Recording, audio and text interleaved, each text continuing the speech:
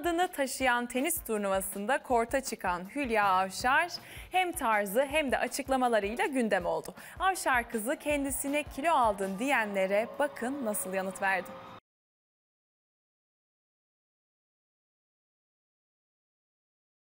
Hülya Avşar'a tenis maçında büyük ilgi.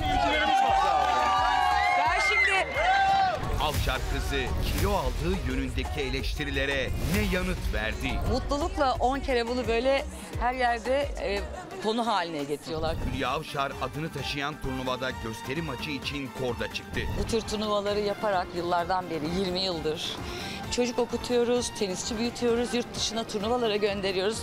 Bu Hülya Cup tenis turnuvalarının misyonu bu. Avşar kızının sevgilisi tenisin tanıtımında büyük rol oynadı hiç kuşkusuz. Ünlü bir sanatçının burada tenis oynamasını görmeleri bence e, eminim onları çok aşılıyordur diye düşünüyorum.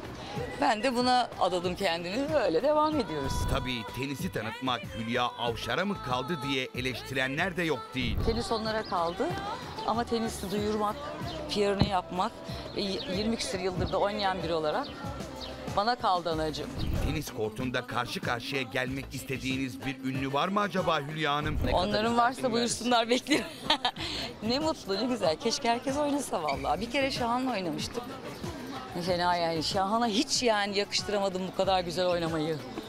İnana, Can Yaman mesela inanamadı. Kilo aldığınız yönündeki eleştirilere ne diyeceksiniz Hülya Hanım? Yani bilmiyorum sizce varsa var bence yok.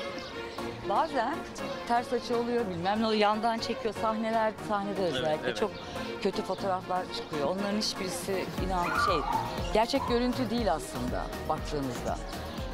Tamamen ışıkların yansıması falan ne bileyim işte bu. Bir televizyon programında da efekt krizi yaşanmıştı geçtiğimiz günlerde. Yani bazen o fo- fotoğraflar bir tane fotoğrafa bakıp Allah ne kilo almış falan yapıyor de mutlulukla 10 kere bunu böyle her yerde e, konu haline getiriyorlar. Çok önemli bir şeymiş gibi.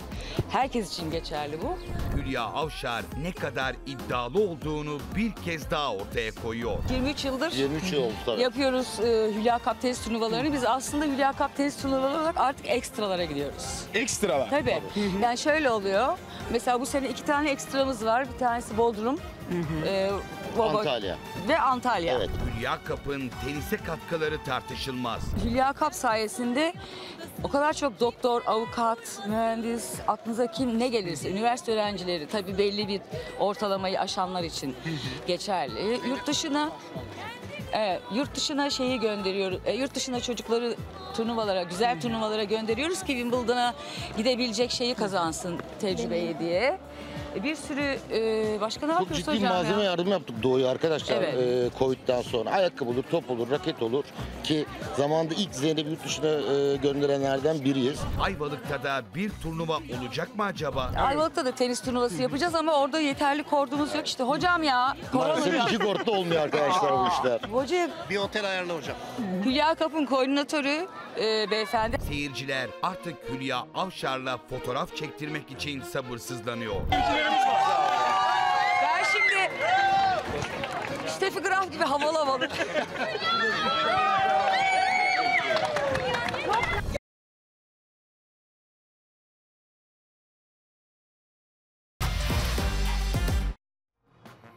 Gazete Magazin yaz ekibi pek çok ünlü isimle birbirinden özel röportajlar gerçekleştirdi. O röportajları birazdan hep birlikte izleyeceğiz. Bizden ayrılmayın. Bir kez daha Bodrum'a gidiyoruz şimdi. Konuğumuz Gülben Ergen. 20 yıl sonra cesur mayasıyla sahile inen ünlü şarkıcı bakın tatilini nasıl geçiriyor.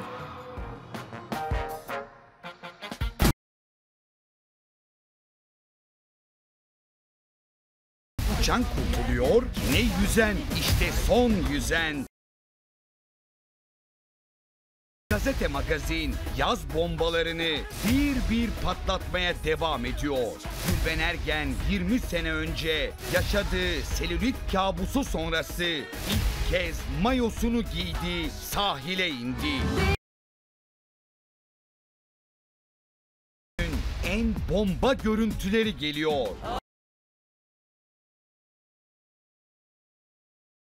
2000'li yılların başıydı. Gülben Ergen henüz çok yolun başındaydı. Şöhreti her geçen gün artarak devam ediyordu. Ergök henüz 20'li yaşlardaki Gülben Ergen şarkılarıyla inliyordu. Güzel de kadındı. Dönemin en alımlı isimlerindendi. Derken bir gün işte o yakılacak fotoğraflar çekildi Bodrum sahillerinde.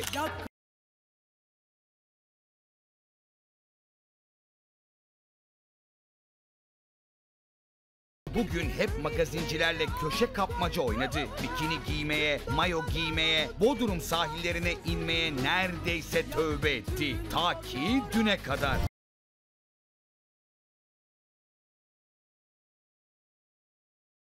Gülben Ergen seneler sonra mayosunu giydi. Gün doğanda evinin hemen 100 metre önündeki sosyetik beach'te meraklı gözlere aldırış etmeden sahile indi.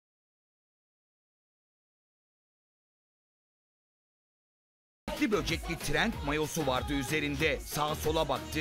Çeken var mı diye kolaçan etti. Çivileme kendini suya bıraktı.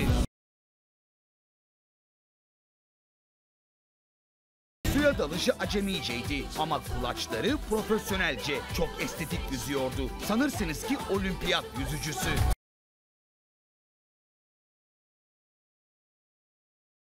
Kulaçları çok estetik.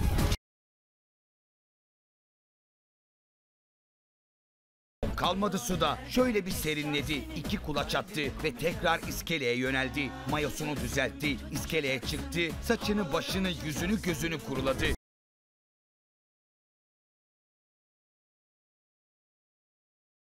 Numaralı güneş gözlüklerini taktı. Bir kez daha etrafa baktı. Gazete magazin herkesi yakalıyor. Beni de yakalamasın der gibi panikti.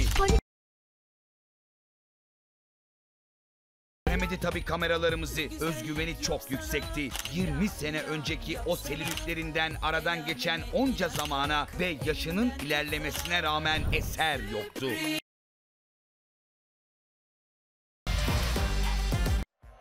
Gazete Magazin Yaz birbirinden özel görüntüler, canlı bağlantılar ve çok konuşulacak röportajlarla devam ediyor. Şimdi de muhabirimiz Sercan Kazancı'ya bağlanıyoruz. Kendisi bu güneşli ve sıcak yaz gününde bizleri bir su parkında bekliyor. Sercan merhaba, bize biraz ortamı anlatabilir misin? Ezgi merhabalar. Ee, size Bodrum, Antalya, Çeşme'den yayın yapmayı çok isterdim ama şu anda İstanbul'un en büyük su parkından yayın yapıyorum. Bahçeşehir'den yayın yapıyorum size. Arkamda görmüş olduğunuz havuz şu anda aile bölümündeyiz. Orhan Bey de yanımda e, işletme müdürü. Hemen birazcık onunla bir sohbet edelim. Daha sonra çiftlerimize zaten hemen sorularımızı soracağız. Orhan Bey merhabalar. diyelim. Merhabalar. Ee, biz Antalya, Bodrum, Çeşme'de değiliz. İstanbul'dayız. İstanbul'un en büyük su parkındayız. Evet. Ee, neler söyleyeceksiniz? Tatile gidemeyenler İstanbul'da keyifli vaktini burada mı geçiriyor? Evet, e, herkes e, İstanbul'da tatile gidemiyor. E, güneyin pahalılığından da herkes şikayetçi. Ama günübirlik gelip burada e, bir, bir parça olsun e, oradakini aratmayacak bir tatili yapma imkanları bulabiliyorlar. E, genellikle hafta arası ailelerin yoğunlukla geldiği, hafta son, sonları ise çalışan kesimin yoğunlukla geldiği 45 dönüm üzerinde kurulu e, büyük bir parkız. 45 dönümün üzerine kurulu dedik ama ben ücretlerini de çok merak ediyorum. Ee, bu su parkına giriş ücreti ne kadar? Hafta arası 800 lira, hafta sonları 900 lira, 4-11 yaş %50 indirimli, 0-3 yaş ücretsiz. 0-3 yaş ücretsiz dedik ama e, ye- 800 lira ve 900, 900 lira dediniz evet. hafta sonları ama peki buraya gelen aslında bir kişi veya çift de olarak soralım. Gününü burada kaç para maliyetle çıkartır? Kişi başı 800 lira ödediği zaman hafta arası e, bir hamburger menü yese 300 lira da o, e, 1100 liraya anlamına geliyor. Bir günü geçirmeleri anlamında. Bir günü geçirmenin bedeli burada 1100 liraya tekabül ediyor ama e, Bodrum, Çeşme, Antalya'dan da biraz daha hayli ucuz aslında. E, biliyorsunuz ki oradaki burger fiyatları almış başına gidiyor. Evet evet güney oldukça pahalı. E, artık bu sene İstanbul'da da çalışan kesimin e, güneye gitmekte, tatil yapmakta zorlanıyorlar. E, çalışan aileler özellikle tatile gidemeyenler için de hafta sonları çocuklarıyla bu- bunaldıkları zaman sıcakta burada keyifli bir gün geçiriyorlar. Bir tatil yöresini aratmayacak bütün ortam burada mevcut. Kaydıraklar, eğlence alanları, çocuklar için e, iki tane büyük e, çocuk havuzumuz var. Gençler için kaydıraklarımız var. Bunun haricinde buna benzer üç tane daha büyük havuzumuz var. Tesisimiz çok büyük. Burada çok keyifli, güzel bir gün. E, huzurlu bir gün geçirebilirler. O zaman teşekkür ediyoruz. Hemen havuzdaki çiftlerimize aslında bir dönmek de istiyorum. Merhabalar diyelim. Canlı yayındayız şu anda. Nasılsınız diyelim. Ben bugün kot pantolonuyla geldim. En büyük hatayı yaptım. Siz de suyu, suyun içindesiniz. Şunu sormak istiyorum. İlk öncelikle İstanbul'da mı yaşıyorsunuz yoksa tatil için mi buradasınız? İstanbul'da yaşıyorum. İstanbul'un en güzel kaçamak noktalarından bir tanesindesiniz. Bugün de e, sıcak havanın tadını çıkartıyorsunuz serinleyerek. Neler söyleyeceksiniz bugün için ve neler yapıyorsunuz? Ee, havuzun kaydaklarının açılmasını bekliyorduk. Biraz aile havuzunda serinlemesi, serinlemek istedik. Hava da gayet sıcaktı. Hafta sonu çok yoğun olduğu için hafta içini tercih ettik. Gayet sakin, tatlı bir ortamı var. Tatil sezonu sizin için İstanbul'da başladı ama e, şehir dışında da bir tatil planlarınız var mı? Geçen hafta Bodrum'dan geldim. Geçen hafta Bodrum'dan geldi. O zaman hazır seni Bodrum'dan da e, geldiğin için yakalamışken şunu sormak istiyorum. Bodrum'daki fiyatlar nasıl? Ben önceden aldığım için otel fiyatlarım gayet iyiydi. Otelin imkanlarını kullandım.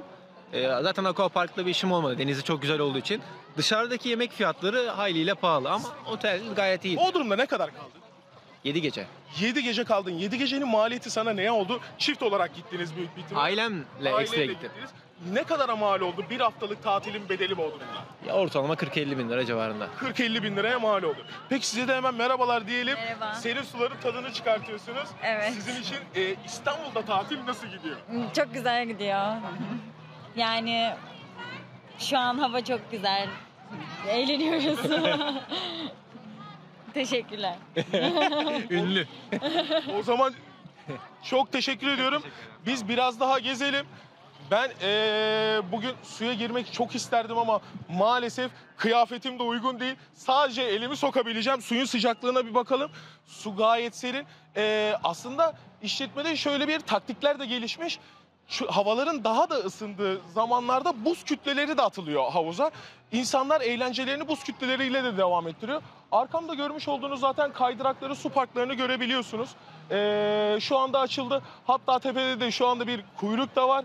22 metre yükseklikten insanlar serin suların tadını çıkartıyor burada. Biraz daha yürüyelim, bir bakalım aslında. Ee, sormak istediğim çiftler de olacak ama tabii e, izin de isteyeceğiz, müsaade de isteyeceğiz. Merhabalar, canlı yayındayız. Kısa bir röportaj yapabilir miyiz?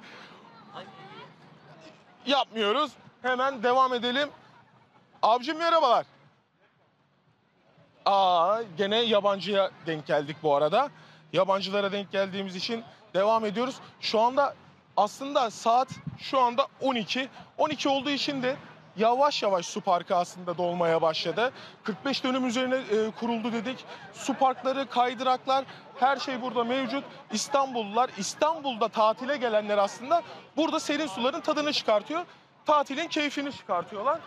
Biraz daha devam ettiğimi söyleyeyim. Şu anda aile havuzunun oradayız aslında. Su kaydıraklarının oraya gittiğimiz zaman daha adrenalinli, daha adrenalinli e, sporları da yapıyorlar orada.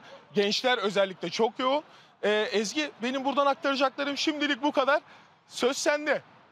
Sercan, Bodrum, Çeşme, Kıbrıs bir yana dursun. İstanbul'un nabzını tuttuğun için, bizlerle paylaştığın için sana teşekkür ediyoruz. Güzel günler olsun. Hazır oradayken keşke sen de havuzun tadını çıkarabilseydin diyoruz. Sevgili seyircilerimiz, A Milli Futbol takımımız 2024 Avrupa Futbol Şampiyonası F grubu 3. ve son maçında bu akşam Çekya ile karşılaşacak.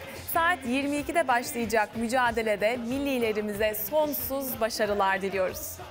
Ve artık yavaş yavaş programımızı kapatıyoruz. Gazete Magazin'den bugünlük bu kadar. Yarın yine aynı saatte TV8 ekranlarında görüşmek üzere. Hoşçakalın.